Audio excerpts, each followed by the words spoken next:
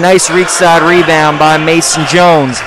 St. Andrews Episcopal pushing the pace layup in transit, but it falls in the hands of Colbreth. Colbreth's got five to shoot, going right, attacking off to Skeeter, blocked, and Troutman on Skeeter, blocked, and Troutman on one leg saves it in to Gardner. Inside. Not a good pass by Green. Picked off by Mason Jones. Jones with a nice move to score. Francis, NBA range three. Got it to go. Hogs back out to Roberton. 13 to shoot.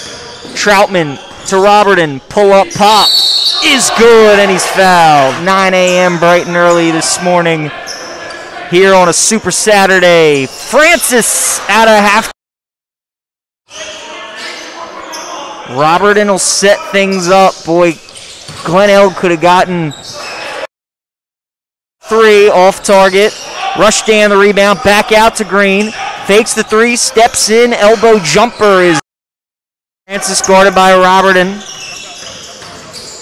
In the lane, jump stop, draws the foul and gets it to Troutman with those long arms right up in him. Baseline, Skeeter for three. Got it. Great pass by. Six points now for Green. It's a 12 point game. Troutman! Roberton looking for the alley. Oop! Troutman over Skeeter. But all he can do is catch it. Now goes up. Their defense has been lights out tonight. Skeeter saves it, attacks, reverse layup. Nice move. Go in the game. Saxton through the teeth of the defense.